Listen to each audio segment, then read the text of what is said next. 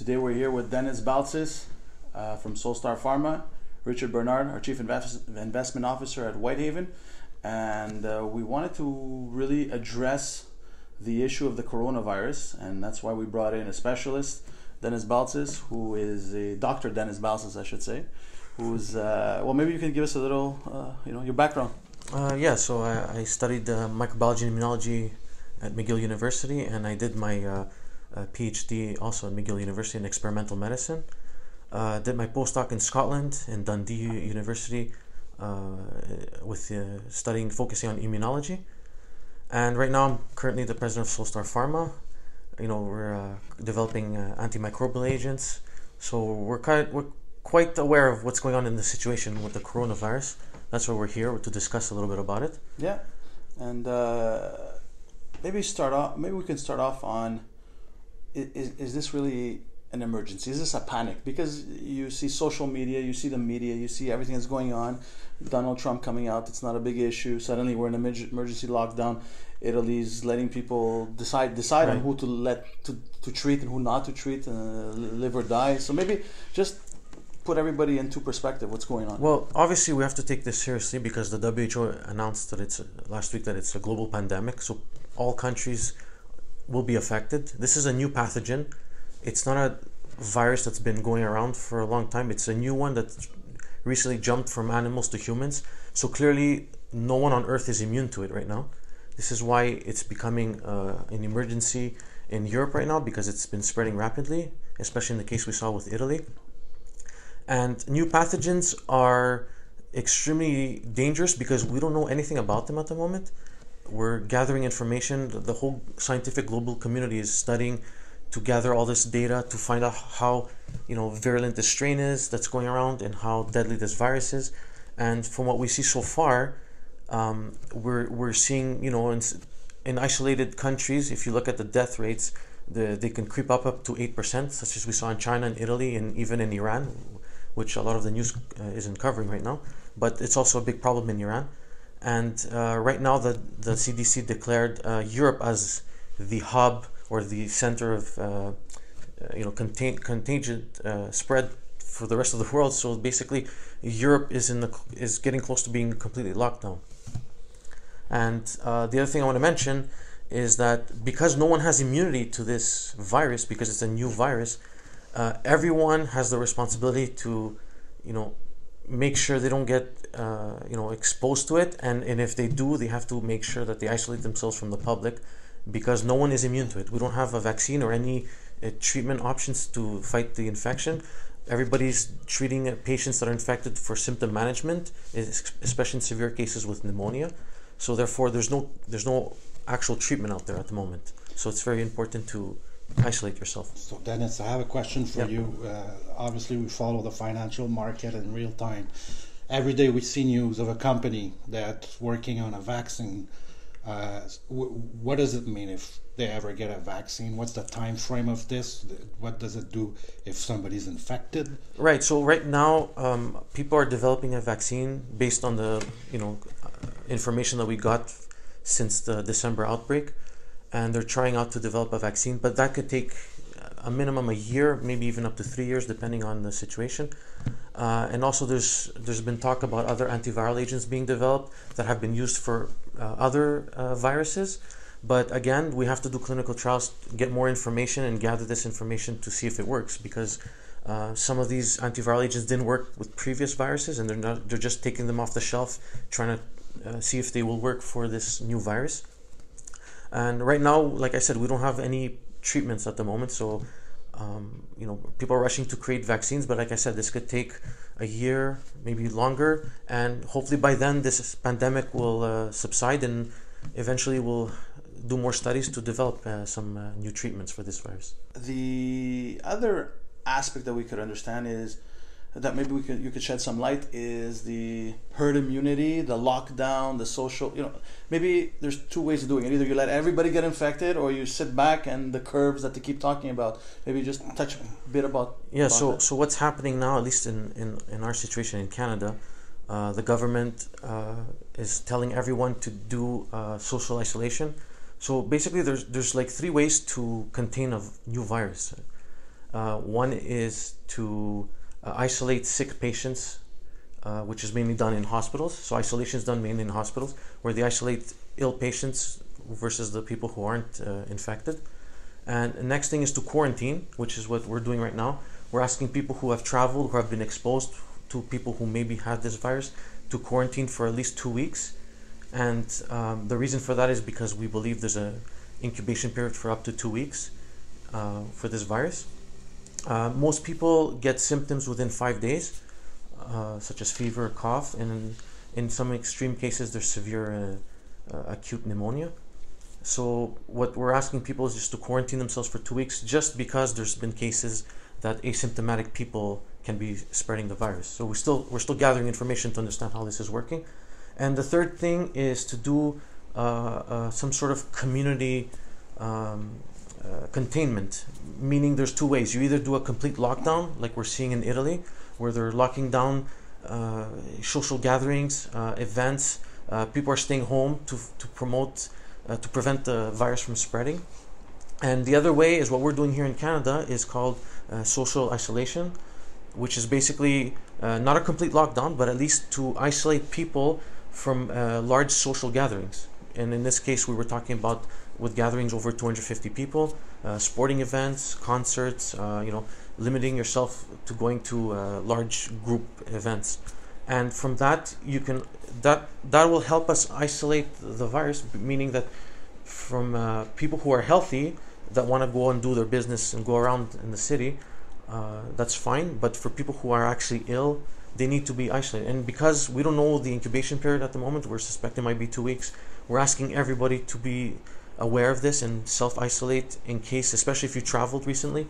And this is the reason why we're asking people for two weeks from now, because within two weeks we're going to readjust and reassess the situation, how many cases are happening in Canada, and from now we're still we're at low risk. So this is why we're not we're asking people not to panic don't go uh, binge shopping because you're not helping anyone if you're buying all the cleaning supplies and not giving uh, a chance for other people to have you know some sort of sterilization agents at their home. Uh, and you know basically not to panic right now we're not in a case like we see in italy or the rest of europe. We're not on lockdown right now. So taking these preventions of being in social isolation will prevent us from going into the second stage, which is complete uh, city lockdown.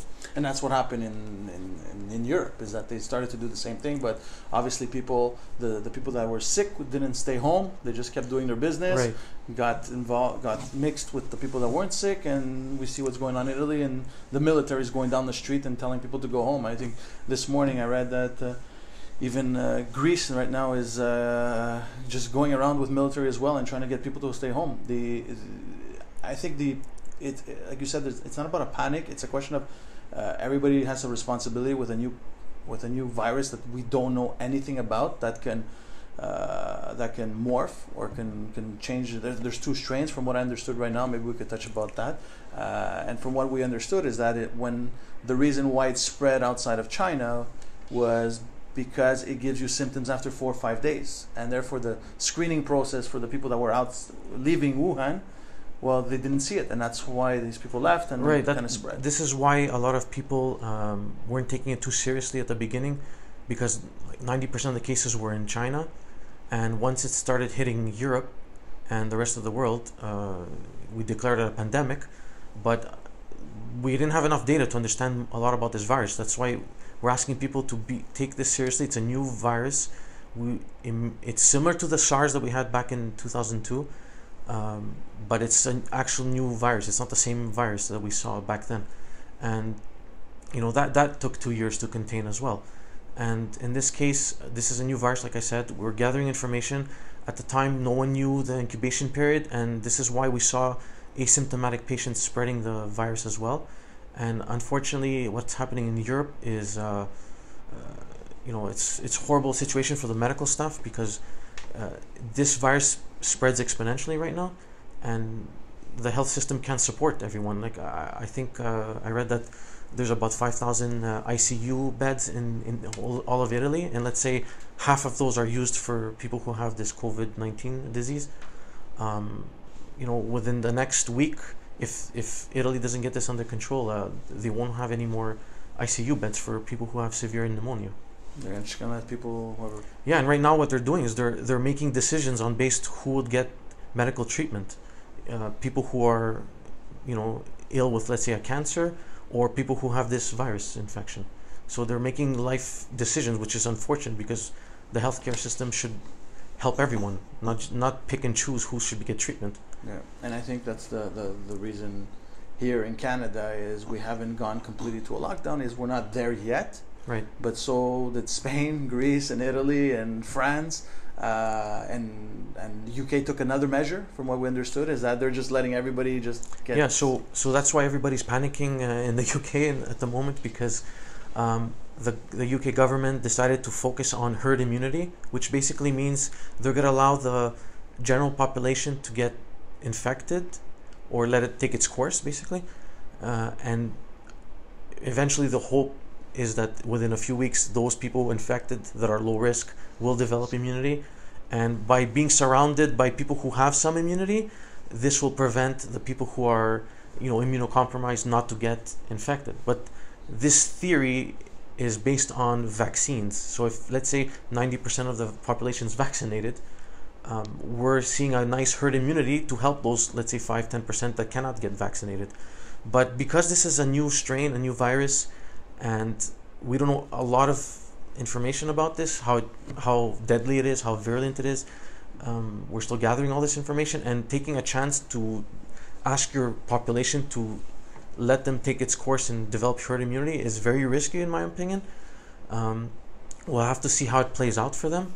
But uh, I've I've read in the uh, the scientific community in the UK that they're actually opposing this and they're asking the government to do uh, uh, social uh, isolation like most countries are doing to prevent a lockdown like in we see in Italy.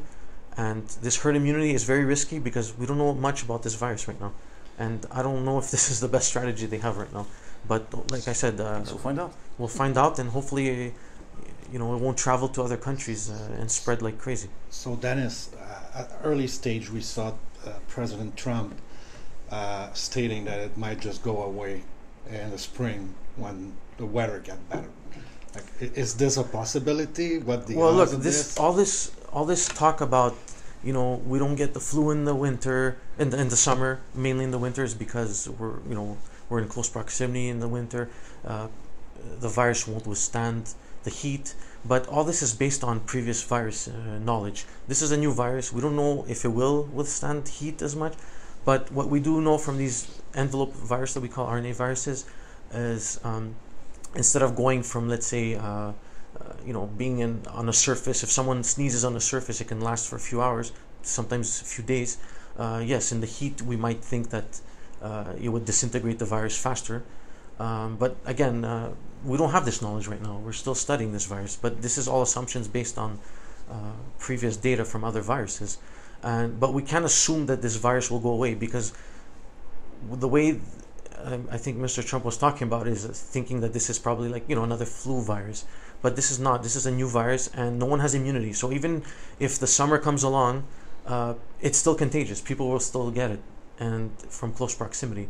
And all this talk about the heat is mainly data about surfaces that need to be cleaned and whether the virus can, uh, you know, withstand the heat. So I, I, I don't think it would go away because of the heat because, uh, you know, if no one has immunity to the virus yet, so it's still it will still spread. So we still have to take responsibility to isolate ourselves at the moment. And what happens uh, in cases like we just saw? Uh, I think it was yesterday in Japan. There's a person that had uh, COVID nineteen, uh, developed its antibodies, healed, went back home. A month later, it came back Right. and they have it We we heard a case that someone was reinfected after um, a few weeks of showing no symptoms. So I think they're studying right now to see if whether the virus was either like dormant, it was still there, or if he was actually reinfected, which could mean uh, the possibility that uh, even if he got immunity initially from this virus, uh, it could just mean that the virus mutated enough not to give him immunity the second time around, and he's he got reinfected. so what does that mean? Being dormant or mutate means it's a third strain or another strain or no, the, these are these are RNA viruses, and they've basically mutate throughout the replication cycle, and sometimes they mutate to the point where they change uh, some structure of their proteins on their surface that can become uh, a complete different strain. As we saw initially, they talked about the L and S strain. The S strain was the initial one that uh, the virus jumped from animals to humans, and we saw that it was still spreading through humans. And then they isolated in China that uh, another strain called the L strain that mutated, and they're thinking that this strain, we're not sure yet, but they're they're looking into to see if this is more virulent. Uh, what that means basically is when a virus mutates to another strain and becomes more virulent, it just means that it, it found a way to evade our immune system. And right now, we don't know yet if it's more virulent or not. Uh, but these viruses do mutate because they're RNA viruses, and eventually we will find new strains and this is why we're we're telling people to take this serious to isolate themselves to avoid more strains coming out because then it will become more difficult to control if if like i said these viruses become more vir- virulent and can reinfect people who had some sort of immunity initially so right now we don't know uh, if people can get lifelong immunity but it, from the case that we saw in uh, in, in Japan, I believe it was, uh, a person was reinfected. So clearly, this is not showing signs of a lifelong immunity, and that's why we need to be careful not to spread this virus to avoid these uh, viruses from mutating right now. So, in a nutshell, right now in Canada, what we should be doing is if you're sick, stay home. Stay home. That's right. If you're not sick, and you four or five, and you've, if you're not sick and you've traveled, try to stay home for about four or five days. Right. You have to quarantine yourself for at least two weeks, as the government suggested and uh, medical ex- experts as well. And, and especially if you were in contact with anyone who traveled or who has suspicion that may have had uh, an infection as well. Uh, for people who aren't sick, you know, just be vigilant, careful. Uh, we say practice basic hygiene because this virus is preventable. Uh, just wash your hands, like they say, don't touch your face, which is, you know, basic hygiene we all learned when we were growing up. And uh, these are uh, viruses that spread from uh, uh, droplets from people coughing or sneezing. So always make sure not to touch too many surfaces when you're out there, and go about your business if you're healthy. But just be aware and and try to avoid as much contact as you can, especially large group gatherings. So we see these, uh, like especially in the U.S., this travel bans, and I don't, I don't know, I don't want to say millions, but at least hundreds of thousands of people are rushing to the airports to get back home. Uh, for sure, there's going to be some people that are infected. We saw the Ontario government that came out. They had last week the largest mining conference in Canada, 25,000 people or so from across right. the world. Apparently, there were two, three people that have COVID 19 that were at that conference. What does that mean? Like, what, what, what, what can, how does that how can that impact? And, and, we also saw a picture of the Chicago airport where the government said we're going to take the temperature of people coming back, but you had a six-hour lineup. Yeah, and there's packed. thousands of people waiting to get uh, yeah. through the border, and like there's going to be some sort of shoot up of cases. Uh, yeah, this is why we're telling people to avoid unnecessary travel, especially in areas that have high cases of uh, this virus. And travel ban isn't working very well because if you ban one country from coming in, people are gonna find a way to find connecting flights to get back to where they need to.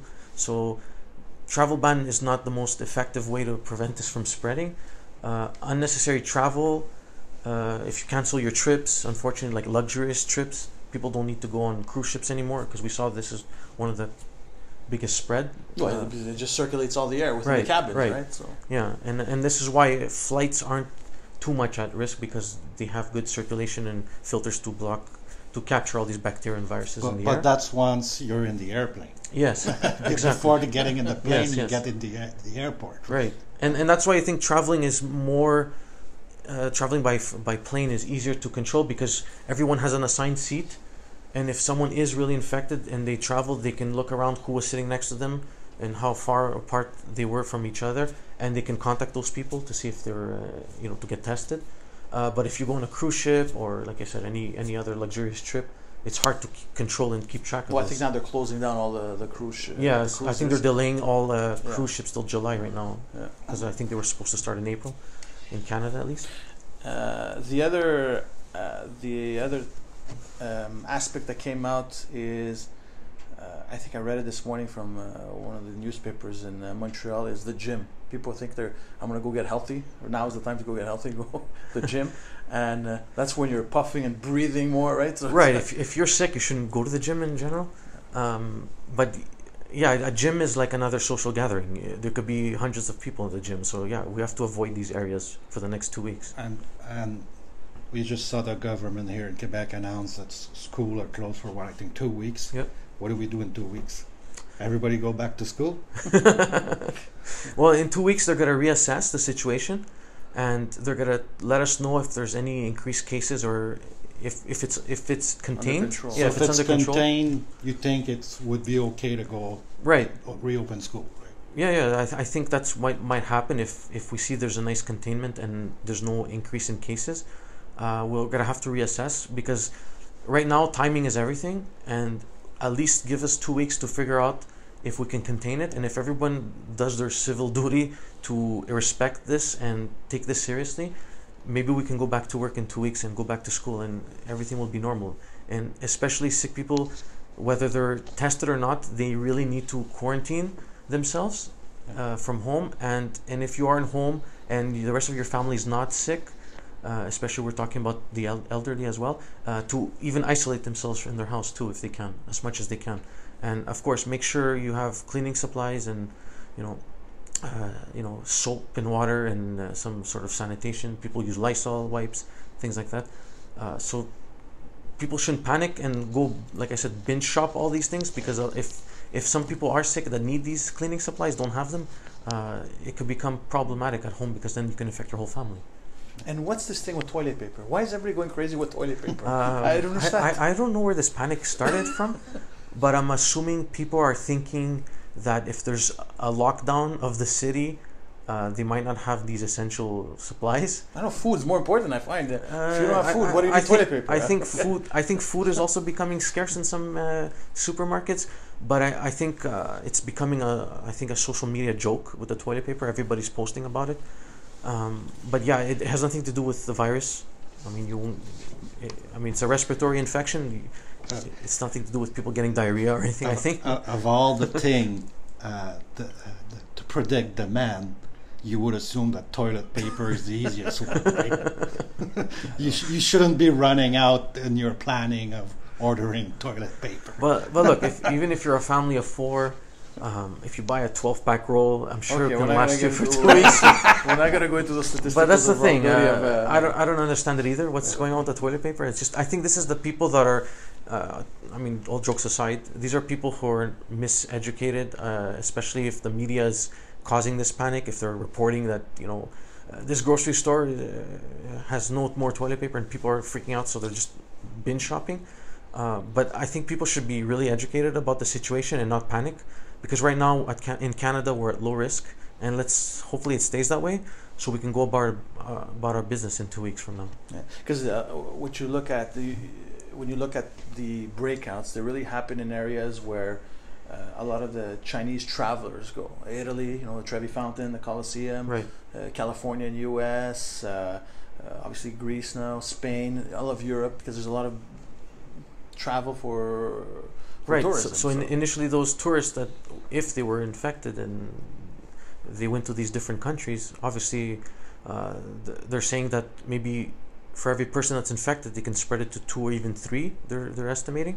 So you can see how it can exponentially jump. Mm-hmm. And uh, unfortunately, if if people that are sick are still traveling, whether they have this virus or not, they should they should really isolate themselves because it could exponentially jump in every country in the world. And right now, I think it's uh, I think it's been in 140 countries, at least have one case right now, and we're 195 countries in the world. So we're getting there. Almost every country on earth is going to have this uh, uh, virus. We, we, we can uh, we can expect outbreaks around the Vancouver, Banff area, Toronto, uh, obviously Montreal.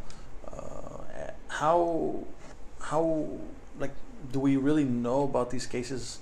Because a lot of people could be infected, is we won't know anything, and then suddenly you know, it just sparks, right? Well, because a lot of people can be. Right. So a, a lot of people who are infected, uh, there's a there's a number that they call, and they ask, you know, basically if you've traveled, if you've been in contact with anyone, do you have these symptoms of this COVID nineteen? and if they say yes, they'll be tested. And I think there's about like at least in Quebec, there's I think a thousand people waiting to be tested, uh, something like that, or six hundred. I don't know. I don't remember the exact number. Uh, but yeah, we're, we're asking these people who potentially think are infected to at least isolate themselves until they confirm if they're positive or negative. And we won't know until all these tests are done. But the reality is, we have a few cases here in Canada. There's like a 244, I think, as of today. Um, and if there's thousands being tested, yes, it can easily jump up if because we don't know yet at the Yeah, moment. because also a thousand people could be still going around with their business and infecting others and others. Yes, and like I said, for every thousand people, it can it can double or triple, and and and if we don't do anything within two weeks, we will, we could become like Italy, have a complete lockdown if it spreads that fast. And what about countries like India that didn't really take it serious? They announced yesterday one death, and the only reason they announced the one death is because they, the person died and they noticed he had it. Uh, you know, and then that's when you get social media saying, "Well, look at India; they haven't done anything; they only have one death. It's not serious." They could be really spreading right now, right? And, and that's the thing. uh, Do we? I'm not sure if all countries have these kits to test. If people are really like, are they really dying from this infection, or are they dying from something else, or they just, uh, you know, are they just looking at uh, clinical symptoms, basing it on that, or did they really do the test to see if they actually have the virus? So again, we, it depends on each country if they're how fast can they test these people to see if they're spreading it or not. And it's hard to tell uh, with the death rate as well too, because uh, if people are just using uh, clinical symptoms as as a positive test to see if they have uh, this virus, um, it can skew the death rate results. That's why we see in some countries eight percent death rate, where in some countries it's under one percent. Yeah, uh, coming back to that point is uh, at the beginning the low, the death rate was lower because they were counting people that had developed antibodies for previous coronaviruses. Right. Right. They were just taking, from what I understand, you take a blood test and it checks if you have antibodies or. Yeah, so they were probably doing serology tests to check the antibodies, and you know if you had another coronavirus in the past, like a common cold, um, you could have tested positive, but And they would count you part of the Right. denominator to. Right, exactly. So this is why uh, we're, we're providing, the CDC is providing also kits that test through PCR, which is basically uh, a, a test to detect the actual genetic material of the virus to see if you actually have it. So it's specific for that virus. And then this way, um, you can confirm, you know, without fault, more or less, that you have the virus or not. So how do you think this is going to play out in Italy? Uh, so far, uh, this lockdown, I'm, I'm seeing people are kind of respecting it. Well, Uh, the army's. Yeah, exactly. The so army's in the streets, they have no choice, obviously. Um, but I think it's very critical for them because the next, uh, I would say, week or even two, if they can control it. That- but the, that- the next, the next, yes, the next week would tell if their health system might shut down because they don't have enough ICU beds for people who have severe pneumonia. Yeah, I heard from uh, uh, some people in the hospital that they run out of masks, they run out, and then the doctors get Yeah, infected. yeah, yeah. The, I think the medical doctor The- of the health. chief- exactly the health professionals are more at risk because they're the ones in contact with these patients and if they don't have enough supplies to protect themselves then imagine all these health professionals getting sick who's going to help the, the patients after if they can't uh, you know help themselves either The the other thing that we've been hearing about is the U.S. has taken this really serious right now because they've no, well studies have shown or, or the people that the literature that we've seen in the last few months is it attacks obviously older people, people that have health problems, people that smoke, and what we've heard is that since the U.S. has a lot of obese people, obesity has similar effects on your lungs than as smoking. Is that true? Well, I- false? Uh, well we wouldn't go that far i mean there, it depends how obese a person is obviously and uh, how good their lungs are obviously but smoking obviously affects your lungs directly so if you don't have strong uh, lung capacity to begin with obviously you're more at risk uh, but when it comes to obes- obesity uh, you know there's different degrees of people having obesity but but yeah any, any comorbidity or any underlying condition we could be at risk because we don't have enough data to know uh, how deadly this virus is right now, and this is why we're seeing most people who have lung problems or some immune immune compromised, uh, you know, problems that they have from from other conditions. Uh, they're the ones mostly at risk. And yeah, I mean, we, we can't rule out any comorbidity or any underlying condition, and obesity obesity could be one of them. Yeah. I think I think as a take home message is uh, people should just listen to their health professionals and the government, at least the governments in Canada, are listening to the health professionals and they're taking quick action. And people shouldn't panic, especially don't read stuff on social media because it's becoming, I think, a joke, and people are just taking it too lightly. Uh, or the extreme, thinking it's the end of the right world, then they then or- they panic because they don't understand the situation and because of this lack of education they're just uh, you know buying all sorts of non-essential supplies and we're not on lockdown right now so people don't have to panic and our But healthcare system sick, is ready If you're yes sick, if you're home. sick stay home If you've been traveling, stay home at least four or five days. that's right You know, you're gonna go to the grocery store. You're gonna go about your business.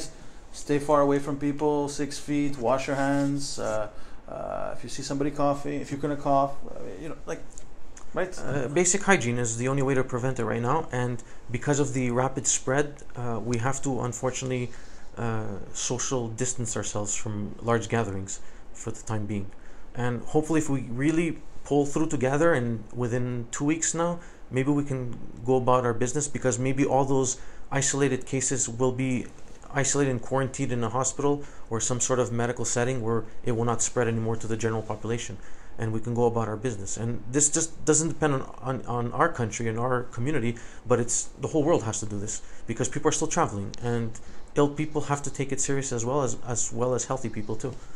So hopefully we can, you know, get this under control. So far we're at low risk in Canada. That's why people shouldn't be panicking. We're doing a great job and hopefully everyone listens to the health experts and, you know, isolate themselves as much as they can. Perfect. So, thank you very much, and uh, we'll see you in the next uh, week or so. If there's any update, uh, we'll uh, maybe get together and just inform people what's really going on, and uh, and hopefully in two weeks we'll have good news from the health system that it's under control, and we won't have to have another two weeks or another two weeks, or because this is not gonna. From the other thing is that people think this is in two weeks everything's done. This is not. This is gonna last six months, but the severity of it. Yes, that's, the severity of it can last months, and the isolation and quarantine can last for years until we find an actual vaccine or some sort of treatment plan, or at least to contain it to prevent the spread. Um, like I said, the, the first SARS uh, epidemic lasted for two years, so we don't want to get to the point where you know we have a complete lockdown of our health system because this is where it's going to become really serious right here, and hopefully uh, the European countries will see what's happening in, in Italy and take action and prevent the spread. And I'm hoping the UK will listen to the, you know, the scientists that are saying this herd immunity is a big risk, and we haven't have enough data to see if any herd immunity is going to work in this situation. It's a new virus, so we have to be very cautious right now. Well, thank you very much, Dr. Dennis. Thank you, and uh, we'll probably update everyone in the next couple of weeks if there's any new new development.